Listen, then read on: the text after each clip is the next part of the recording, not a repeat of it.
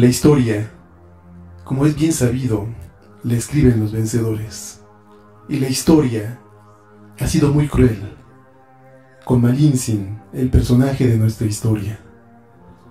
Comenzamos diciendo que por omisión tanto de vencedores como de vencidos, desconocemos la fecha de su nacimiento y tampoco conocemos muchos de los rasgos de su personalidad.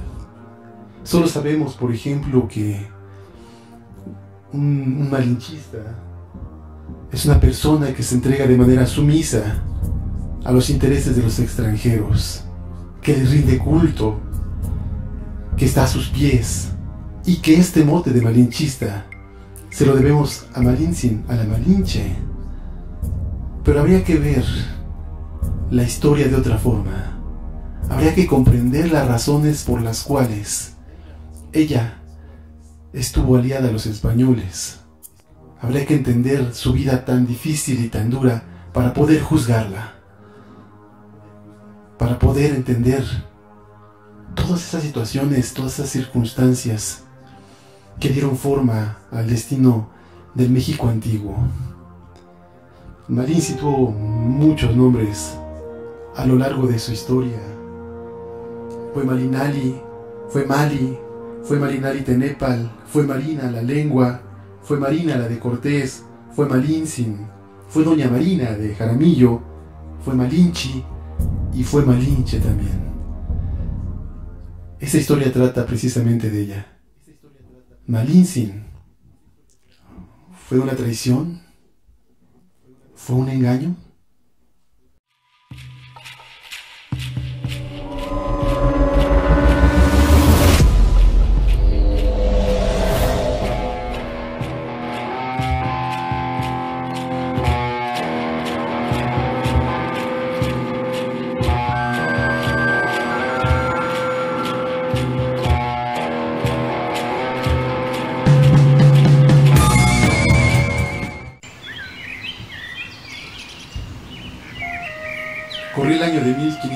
1519, el día 15 de marzo, en una comunidad en el estado del Tabasco, allí en la región del río Usumacinta, y para ser exactos, en la comunidad llamada Centla, que significa en náhuatl entre los maizales. Aquel día llegaron los principales de aquel pueblo. Los caciques llevaban algunas figuras de oro, cinco figuras de aves, dos figuras con rostros humanos y, y otras tantas cosas similares. También entre estas cosas llevaban 20 mujeres. Y entre estas 20 mujeres se encontraba nuestra protagonista, Marinzi. Haciendo un paréntesis, hablando de la esclavitud, la esclavitud en esos tiempos se entiende que era una institución bastante común. Se podía adquirir esclavos en espacios públicos que generalmente se encontraban a un lado de los mercados y en, esos mercados a un costado se podía ver a la gente vendiendo esclavos. Los dueños de los esclavos los hacían bailar, los hacían cantar para poder atraer a los compradores y de esta manera poder venderlos. Obviamente, a un mejor precio. Los ponían a hacer todo tipo de suertes para que se notaran que estaban sanos y que podían usarse para trabajar, para representar a los dioses para hacer quehaceres domésticos, etc. Habían varias formas de hacerse de un esclavo. Vamos a poner algunos de los, de los ejemplos más, más comunes de ese tiempo. Primeramente era cuando alguien robaba algo, ya fuera mazorca, joyas, gallinas, y la ley estipulaba que para poder resarcir el daño podía volverse esclavo. Otro modo de hacerse esclavo era a través del juego. Quien apostaba jugando a los dados o alguna otra, algún otro juego y, no y perdiera y no pagaba dentro del plazo convenido, entonces se volvía esclavo del ganador. Una tercera forma era si un padre de familia tenía muchos hijos e hijas y alguno de ellos fuera incorregible, fuera muy desobediente, como castigo, también lo podía vender como esclavo.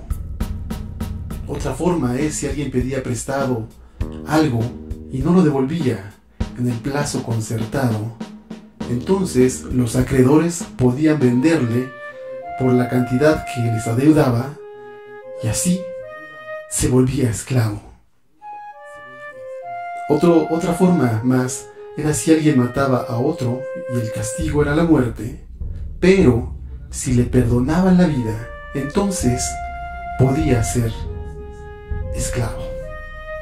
Y una muy cruel era si en tiempos difíciles, en tiempos de hambre, alguna familia no tuviera ni lo elemental para comer.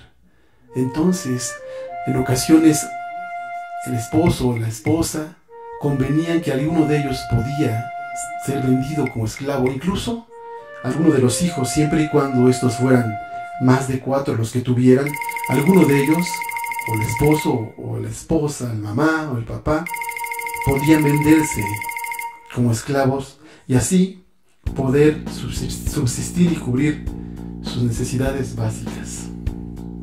Estas eran algunas de las formas en las que se podía ser esclavo. Era algo muy común vender personas, vender esclavos en, este entonces. Eh, y precisamente Marinari en ese entonces fue eh, esclava.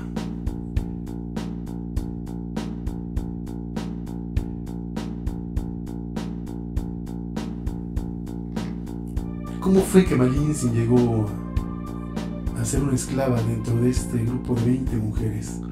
Vayámonos pues al inicio para comprender un poco mejor cómo llegó esto.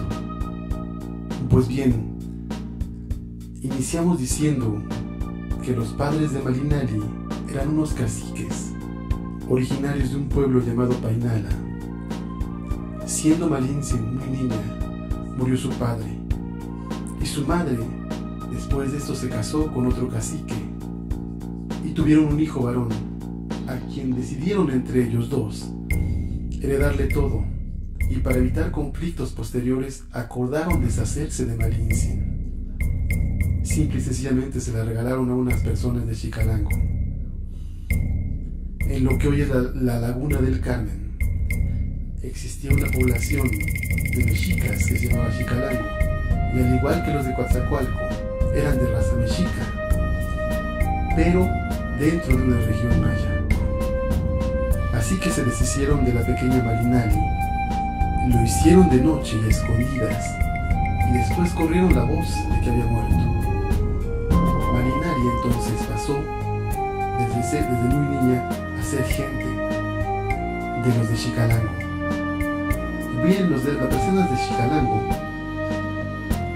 por las relaciones que tenían con la gente de Coatzacoalco, como ya dijimos, porque ambos eran pueblos mexicas dentro de una región maya, pasaban por el territorio de Tabasco. Hasta que un día el cacique de Tabasco decidió ya no permitir más este tipo de servidumbre e impidió el tránsito. Pero los de Chicalango no aceptaron. Y al final se desató una guerra en donde 20.000 tabasqueños se impusieron y ganaron la misma guerra. Esto era entre el año 1511 y 1512 de nuestra era. Entonces existía la costumbre de que los vencidos obsequiasen al ganador lo más valioso que tenían.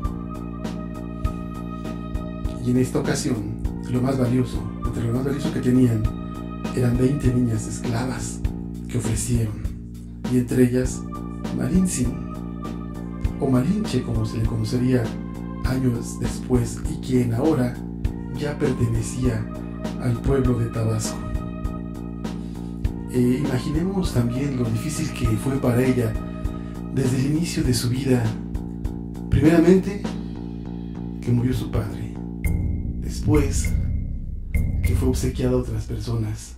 Después, que fue ofrecida como botín de, guerra por parte de los vencidos a un pueblo maya, cuya lengua era diferente, cuyas costumbres eran diferentes, cuyos dioses eran diferentes.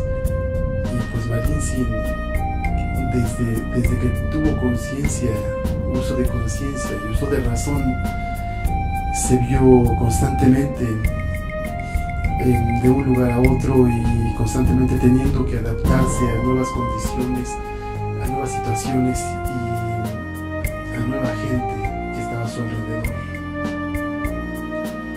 El tiempo y Malinci se dedica a labores cotidianas de su tiempo y de su naturaleza. Y un día llegan a Centla aquellos, aquellos que se volvieron el objeto de curiosidad de niños y mujeres y de uno que otro anciano. Aquellos que por su aspecto físico eran muy diferentes a la gente común de, este territorio. Llegaron a Centla los, los españoles, llegaron hasta la gran plaza, justamente donde se hallaba una gran ceiba, que era el árbol sagrado de los mayas. Y en ese entonces, todo, toda la historia de, de Mariensen empieza a surgir.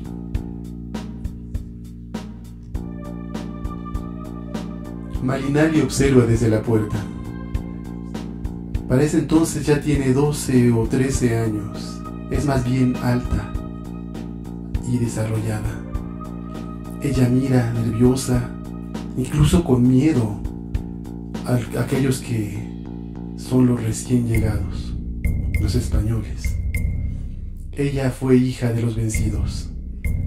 Ella fue la primera en la que pensaron para pagar los errores de sus padres.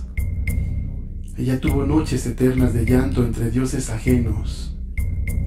Y para ella, las tareas empiezan mucho antes de que salga el sol y terminan mucho después, después de que se mete el mismo. Ella va de la cocina a la piedra de moler nixtamal, del manantial a lavar la ropa, de la limpieza a la siembra, siempre sometida tareas arduas y difíciles. Ahí se encuentra mirando a los extraños aquel día en Centla ella iba y venía en el trajín doméstico sin perderse palabra. Y así mismo fue sorprendida por la noticia, al igual que todos. Los jefes discutieron por largo rato. Debían decidirse pelear con los blancos o no. Traen unos cuantos chachihuites a cambio de comida y piden oro. Los blancos piden oro. La discusión se resolvió hasta muy noche. Aquella noche en la que nadie durmió en Centla. La noticia llegó hasta donde se encontraba Motecuzoma, hasta Tenochtitlan, y volvió con el presagio y la creencia confirmada. En efecto, se creyó que Quetzalcoatl había vuelto. Mientras tanto, los de Centla habrían ya determinado que sí iban a luchar contra los blancos. Interesante escuchar la narración por parte de los vencedores, de los españoles, este, esta parte de la historia. Antón de Alaminos, el piloto que condujo hasta las costas del Golfo a las tres expediciones de Grijalva, Velázquez y Cortés, contempló a Centla desde el navío en el que iba y la describió como una ciudad tan grande como no había visto. dejó dicho que había 25.000 casas en ella. Bernal Díaz del Castillo dijo que traían grandes penachos y tambores y trompetillas y las caras blancas prietas que traían arcos y flechas y lanzas y rodelas y así llegaron a ellos en grandes escuadrones y llegaban como rabiosos y tiraron tantas flechas que en la primera arremetida hirieron a más de 70 españoles. Pero después, a caballo llegó Cortés, que no había podido llegar antes porque se encontraba combatiendo en otros lugares. Los lugareños creyeron entonces que el jinete y que el caballo eran lo mismo. Y fue así que por miedo vencieron. La facilidad para atacar desde el caballo terminó por hacerlos huir. 40.000 originarios de Santla tomaron parte en la lucha de aquel día. Sin embargo, fueron vencidos por unos cuantos. 800 muertos y millares fueron heridos. Esto, aquello fue una carnicería, un hecatombe, una verdadera desgracia. Aquel día y por la noche deliberaron nuevamente. Se acordó a dar a los españoles lo que pedían con la esperanza de que después de eso se marcharan. Al tercer día se presentó una comitiva con 30 jefes y principales indígenas. Era el día 15 de marzo de 1519 y llevaron algunas joyas y un poco de oro que tenían y además 20 mujeres nuevamente. Entre ellas Marinali Tenepal, quien al día siguiente fue bautizada como Doña Marina. En la plaza principal de Centla, en Tabasco, se hallaba una ceiba gigante el árbol sagrado de los mayas, el árbol sagrado de ese pueblo, la divinidad hecha árbol. El viernes 17 de marzo de 1519, Hernán Cortés, en una reunión de los vencidos con los vencedores, llega en su caballo en un acto de solemnidad y de franco dominio, levanta su espada y dice al pueblo, os declaro vasallos de su majestad Carlos V, el más poderoso de la tierra. Lo dijo y lo repitió tres veces más. Después de esto, profundamente el tronco de la ceiba sagrada. Tres veces lo hizo y el pueblo, con una rabia contenida, no pudo más que suspirar. Ahí murió la ceiba. Ahí murió la divinidad en un acto simbólico que, nada, que no daba lugar a duda de las intenciones de aquellos que llegaron de tierras lejanas teatro político al fin y al cabo, acto de sometimiento brutal, al día siguiente se colocó la imagen de la cruz y de una virgen cristiana, y se dijo misa, y se bautizó a ese pueblo como Santa María de la Victoria. Y Marinali, que nunca había conocido la libertad, ya era Doña Marina, y ya pertenecía a las huestes del conquistador. Cortés repartió las mujeres entre los generales y Marinali fue entregada a Alonso Hernández Puerto Carrero, quien era primo del conde de Medellín. Después de esto se hicieron a la mar. Y así fue que el jueves santo de ese año de 1519, cuando vieron apenas anclados sus once naves y después de izar sus estandartes, vieron llegar dos canoas muy grandes llenas de indígenas mexicanos que se acercaron al barco de Cortés y solicitaron con alemanes hablar con ellos. Se les permitió subir y entonces en náhuatl pidieron hablar con el principal. Sin embargo, nadie entendía ni una sola palabra de náhuatl. Había un español que hablaba ya el maya, pero obviamente no pudo entender la solicitud de aquella gente. Pero de pronto de entre aquellas mujeres que llevaron como botín de la batalla de una de ellas se adelantó y con el brazo señaló a Cortés diciendo, ese es a quien buscas.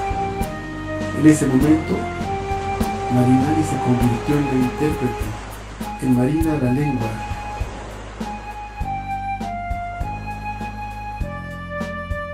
Ha venido cinco principales embajadores de Motecuzoma a rendir homenaje a quien creían que era Quetzalcoatl y que regresaba. Y Marinali fue quien intercedió para establecer esa comunicación entre estos jefes y los españoles. Aquellos hombres narraron lo que vieron según lo dejó escrito Fray Bernardino de Sagún dijeron que se postraron ante él como el dios Quetzalcoatl, le dieron las joyas como obsequio, los trataron bien en un inicio, les dieron de comer y durmieron esa noche en ese navío. Por la mañana, los quisieron hacer pelear uno a uno para saber sus fuerzas, y como se negaron, los esposaron, soltaron tiros de artillería y finalmente les dijeron que vinieron allá para conquistarlos y para robarlos, ante lo cual se espantaron mucho. Marina la Lengua ya era parte de los expedicionarios. Debía ser leal, pues a ellos fue obsequiada. y ella siempre fue obediente y respetuosa ante todas las autoridades, ya sea de sus padres, de sus amos, de sus dueños.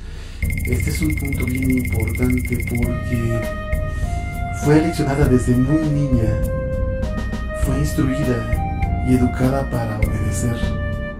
Y en este momento, ella debía obediencia a sus amos, a sus nuevos amos, los españoles.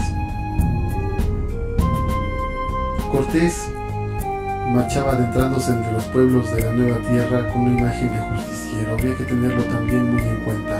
Y por donde iba, decía que había llegado a devolver lo robado a los pueblos, a quitar yugos, a devolver la dignidad, a acabar con las injusticias.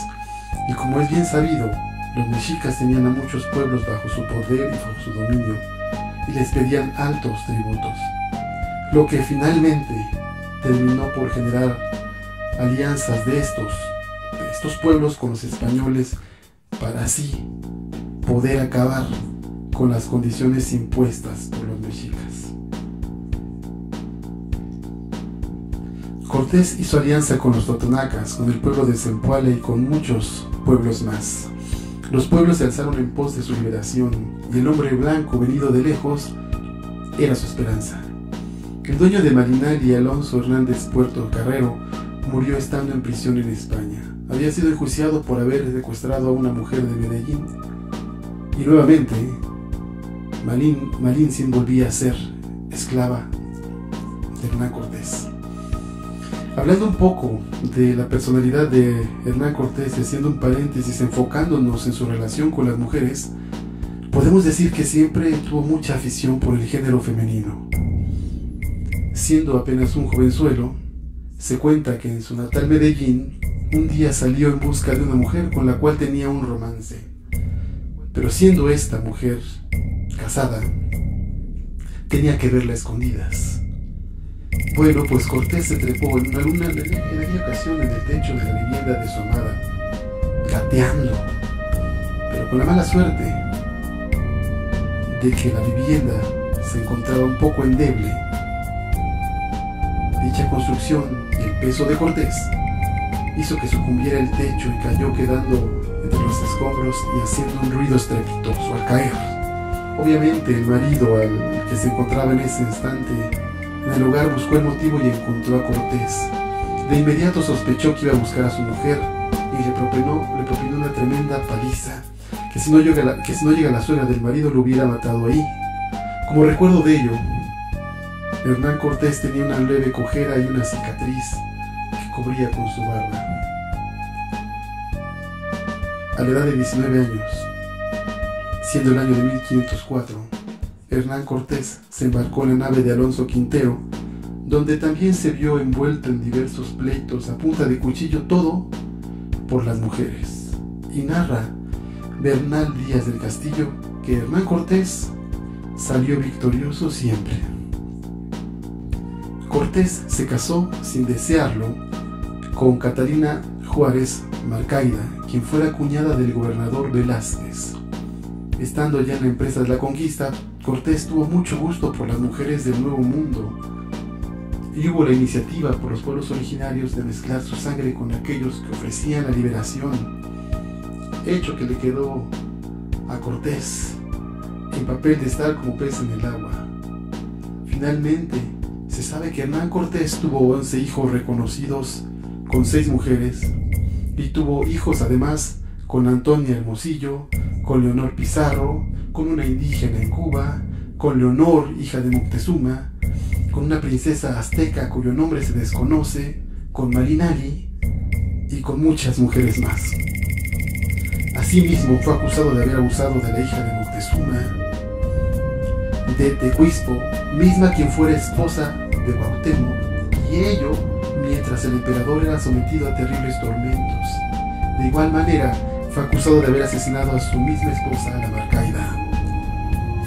Romantizando esta relación entre Hernán Cortés y Marín, se ha mencionado que ella tuvo un hijo con él. Ciertamente, así fue. Y sucedió porque así lo exigieron las condiciones políticas y militares del, entonces, pero sin que hubiera en Hernán Cortés el más mínimo amor como él mismo lo daría a entender con el desprecio de los actos posteriores que mencionaremos un poco más adelante. Después de la noche triste, Cortés necesitó, reorganizarse. Inició, por ejemplo, la construcción de bergantines que comenzó en Tlaxcala y terminó en Texcoco para atacar Tenochtitlan. Y entre estas acciones tuvo bien fingir, fingir amor por Marinari, haciéndola creer que entre ambos podría existir un romance que pudiera cambiar el estado social de ella, de ser esclava a mujer del jefe. Con ello, generaría mucha más confianza para la unificación de los aliados. Hijo de Marinari y Cortés nació en el año de 1523. No se tiene certeza del día ni del mes. Marina se convirtió en Malinsin para las comunidades indígenas. Recordemos que el sufijo sin otorga el carácter de reverencia, de gran respeto. Cortés siempre la tenía cerca y por eso es que él empezaron a llamarle Maritzine, que en náhuatl denota pertenencia y poco a poco esto fue degenerando en Malinchi y después en Malinche. Pero era Cortés a quien le decían Malinche, no a Malinche. Dentro de los pueblos sometidos por parte de los mexicas estaba uno en particular que se había negado a dejarse dominar de modo absoluto. Una nación que mantuvo a toda costa su independencia y con orgullo. Como consecuencia de esto, este pueblo fue aislado, bloqueado. Estamos hablando de Tlaxcala. Y fueron más de 60 años en este estado 60 años sin algodón para hacer prendas, 60 años sin oro, ni plata, ni plumas para adornarse, ni cacao para beber, ni sal para comer, ni para conservar la carne, entre muchas otras cosas. Vivían en un estado permanente de guerra con los mexicas y levantaron una muralla como frontera con el imperio. Así que cuando se dio el momento de decidir si combatir o unirse a los españoles, tres de los cuatro señoríos de Tlaxcala estuvieron a favor de la unión con ellos y uno en contra el señorío de Xicoténcatl, el viejo, quien fuera influido por su hijo para estar en contra de esta alianza con los españoles. Los españoles entraron a Tlaxcala en paz y cuando Xicoténcatl obtuvo permiso para convertir, lo hizo, perdiendo sus batallas en gran medida por una mala estrategia militar. Si queremos encontrar un héroe indígena en la historia de la invasión española, este héroe debe ser Xicoténcatl.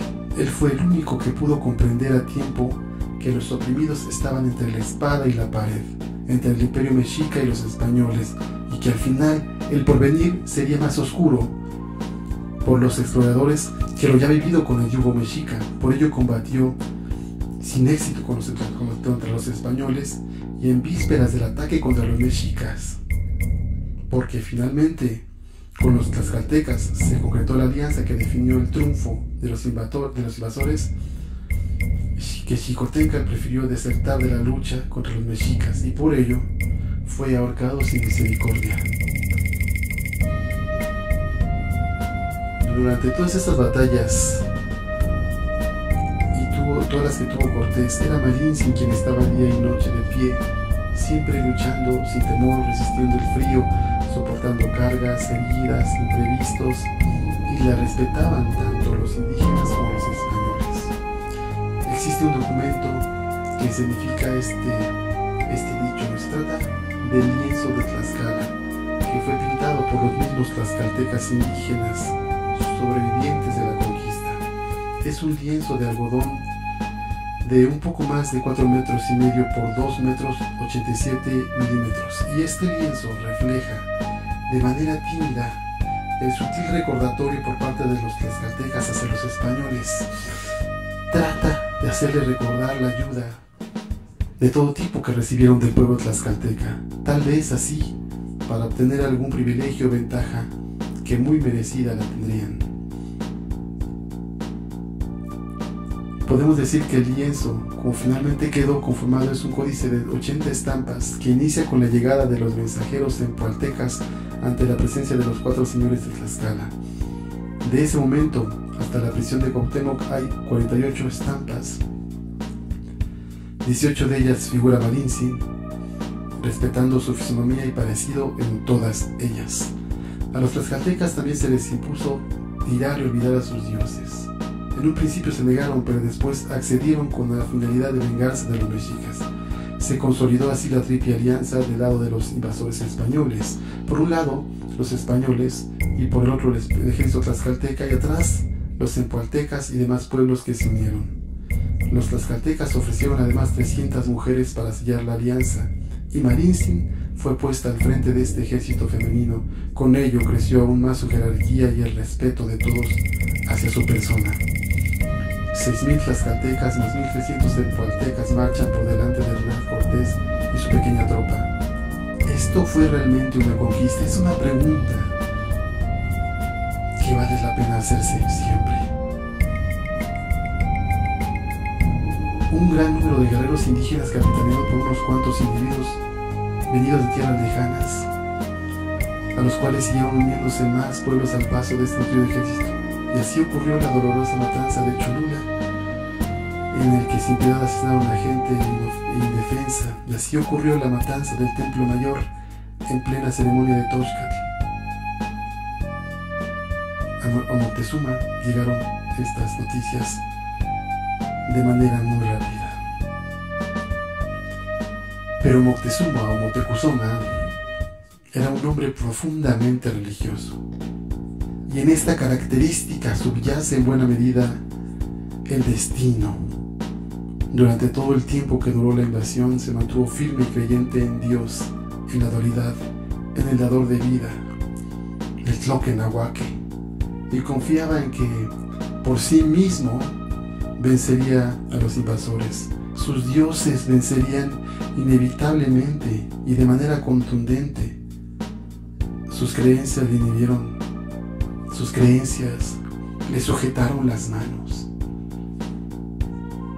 En cierta ocasión en la que Moctezuma le mostró a Cortés un santuario donde tenían a Huitzilopochtli y a Tezcatlipoca, el español comentó que cómo era posible que tuviera por dioses esos ídolos que no eran sino malas cosas, que no eran más que demonios, y le pidió poner en alto del templo una cruz en uno de los adoratorios la imagen de una de las vírgenes que ellos adoraban. Moctezuma le contestó molesto, Señor Balinche, si tal deshonor como has dicho creyera, que ha de decir, no te hubiera mostrado mis dioses. Ellos son muy buenos y nos dan agua, salud, buenas tierras y triunfos, y los tenemos que adorar. Por lo que te ruego, no digas otras palabras en deshonor de ellos. Después de esto, Hernán Cortés pidió perdón y se despidió.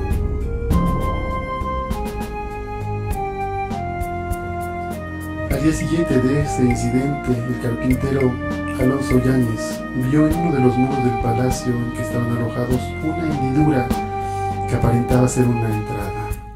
Al saberlo Cortés ordenó que hicieran un agujero en el muro y dieron, ni más ni menos, que con el tesoro de Azayacal, padre de Moctezuma, y se lo apropiaron de inmediato. Ese mismo día acordaron apresar al emperador con el pretexto absurdo de las muertes de Juan Escalante, seis soldados y un caballo, causados por totonacos al mando de Cuapopocatzin en Quehuistlán, cerca de la Villa Rica de la Veracruz. Cuando esto ocurrió, Moctezuma no estaba rodeado de sacerdotes y creyó que esa era la voluntad de los dioses. Siempre se vio dando la razón a la voluntad de los dioses. Por eso disolvió la conspiración que pretendía liberarle. Por ello también se negó a usar los recursos militares. Si lo hubiera hecho, hubieran vencido de manera inevitable, pero no lo hizo. También por eso permaneció impávido mientras quemaban vivo a Siwapopocatzin y a sus 15 soldados. Todo lo hizo por no contravenir la voluntad de los dioses, su forma de pensar, su discutida fe. Puso al imperio mexica bajo la, voluntad de los invasores, pero nunca fue cobarde ni indeciso. Simple y sencillamente, Motecuzoma tuvo fe en sus dioses. Era un hombre, como habíamos mencionado, profundamente religioso. El día del crimen brutal, el día de la matanza del Templo Mayor, Motecuzoma desde su celda escuchaba los gritos de terror de su pueblo. Y entonces tuvo una revelación. Él creyó que los dioses no le habían fallado, simplemente no querían entenderse con él, Su persona era la responsable de todo, se sintió derrotado. Tiempo después, Cortés, en un intento por apaciguar al pueblo mexica, después de que Cuitláhuac no había servido para tal fin, hizo que Moctezuma se vistiera con galas imperiales y saliera a la azotea del palacio para calmar los ánimos. Pero salió a morir, pues según la versión, fue objeto de insultos, y a pedradas el pueblo acabó con él. Pero Moctezuma no cubrió su rostro, ni huyó, ni negó a sus dioses. Obviamente después de esto la ira mexica se desbordó e hizo huir a los invasores, quienes huyeron de noche con el oro robado. Mucho de él lo tuvieron que tirar para intentar salvar sus vidas. De 1.300 soldados españoles, solo sobrevivieron 440 y todos muy mal heridos. Del ejército tlaxcalteca apenas sobrevivió un puñado y de las 300 mujeres al mando de Marinzi, ¿acaso habrán sobrevivido cinco? ¿Qué habría sido de ellos si sus aliados los tlaxcaltecas? Este hecho histórico, conocido como la Noche Triste, fue una muestra heroica del poderío mexica, de la gran ira del gran pueblo mexica. En la estampa 23 del lienzo de Tlaxcala se muestra sobre los cerros del norte del Valle de México el jeroglífico del manantial que representa al pueblo de Axhualco y muestra cómo Cortés llegó el 4 de julio con su ejército mermado y en la pintura se ve a los españoles y a Malintzin fatigados, Malintzin con su propia rodela, su escudo y su pequeño equipaje. Después vino la respuesta de Cortés. Construyó 13 bergantines en Tlaxcala. Reunió 86 caballeros, 118 ballesteros, 700, 700 peones, 3 cañones de hierro, 10 quintales de pólvora, 5.000 saetas de ballesta. Los tecocanos aportaron 200.000 guerreros, más 50.000 labradores, 16.000 canoas. Y a este ejército se agregaron alcobas, cholultecas, huejotzincas, otomíes y otros pueblos más. A la cabeza del ejército tlaxcalteca iba Xicotencal, quien desertó en vísperas de abrir marcha de Nochtitlan y como mencionamos, fue ahorcado. El ejército invasor cortó el suministro de agua potable y el suministro de alimentos para los mexicas. Y el choque, la guerra desequilibrada, hace que finalmente el día 13 de agosto de 1521, después de 90 días de un tremendo choque de masas guerreras, suene el caracol de Cuauhtémoc y poco después es apresado por Cortés, a quien dice las palabras heroicas: Marinciné, pues fui desgraciado en la defensa de mi patria, mátame con tu puñal. Después de todo esto, los empualtecas, tlaxcaltecas, huejotzincas, chalcas, tezocanos y demás aliados circunstanciales, ansiosos unos del reparto de botín y de privilegios, otros de reivindicación de tierras y todos de reivindicación de derechos y de dignidad humana, representan un problema para Cortés y le exigen el cumplimiento de los tratos y de los acuerdos, pues fue él quien asumió el liderazgo, quien ofreció y quien prometió a todos. Pero el imperialismo ya tenía injerencia directa. Yo ofrecía pago de impuestos y contribuciones. Ya pedía cuentas y exigencias a los nativos. Cortés no podía seguir siendo aliado de los pueblos y de esa forma darle la espalda a Carlos V. Así que decidió simple y sencillamente irse, sin más ni más, y dejarlos así, sin respuesta a sus reclamos. Por la época de Todos Santos del año de 1522, más o menos tres meses después de haber llegado a México la esposa de Cortés, doña María de Marcaida, nombrada doña Catalina, en una fiesta en su casa, eh, la señora le dice a un capitán de artillería que no ocupe a sus indios en otra cosa más que para lo que ella dice. Este capitán le responde que quien es el jefe es Cortés. Y la señora le responde a su vez, prometiéndole que antes de muchos días ella verá la forma de que nadie tenga que ver con lo suyo. Cortés escucha y en son de broma le dice, con lo vuestro señora, yo no quiero nada de lo vuestro. Poco después de medianoche, después de irse a descansar, Cortés despierta a sus familiares avisando que doña Catalina estaba enferma, que se había puesto mal. Llegaron muy rápidamente familiares y la hallaron muerta. En el hecho matrimonial de Cortés halla el cuerpo de su esposa sin vida, siendo Cortés el único testigo.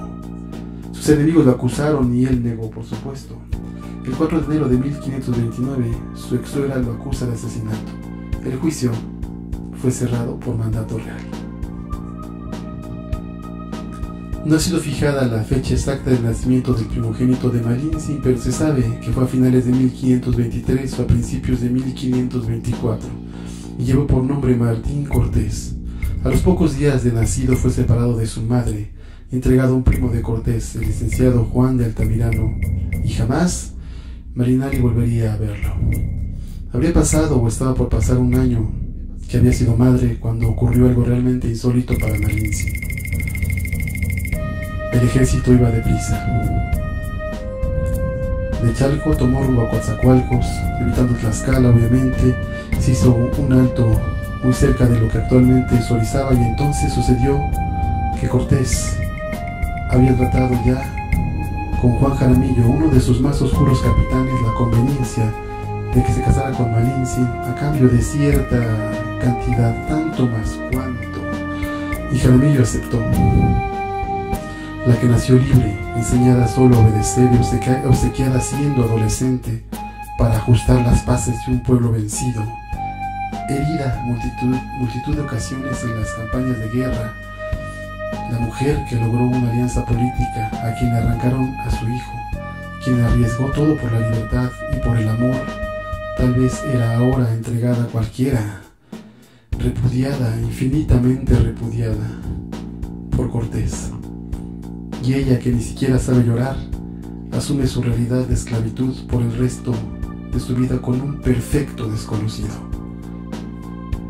La escena, digna de una tragedia dramática, insondable en la que el capellán Fray Juan Detecto, al pie de un altar de campaña, imparte la bendición nupcial a una mujer que consternada mira el suelo y un sujeto que sonríe mientras Hernán Cortés finge devoción al Altísimo.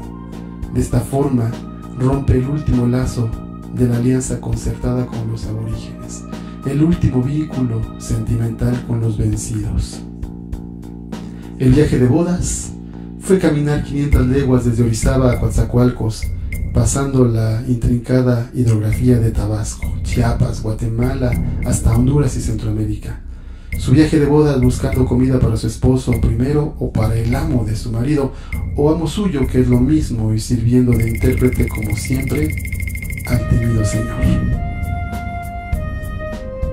Un año y medio con muchos días sin comer, bajo tormentas, atravesando lodazales, probando caminos para que sus majestades pudieran cruzar seguros cual bestia de carga y a bordo de un barquichuelo da luz a su hija llamada María. Desembarca finalmente en lo que hoy es Veracruz, donde siete años antes había iniciado su camino como intérprete de los españoles. Ahí se alejó del mar y lo vio por última ocasión en su vida rumbo a donde murió cinco años más tarde, en el año de 1531, para ser sepultada quién sabe dónde. Esa fue su vida anulada, defraudada por la invasión brutal. A fin de cuentas, al develarse el engaño se le llamó a la mujer maldita, la que se entregó a Cortés, la que mintió, también se le dice la llorona. A ella se le culpó de todo.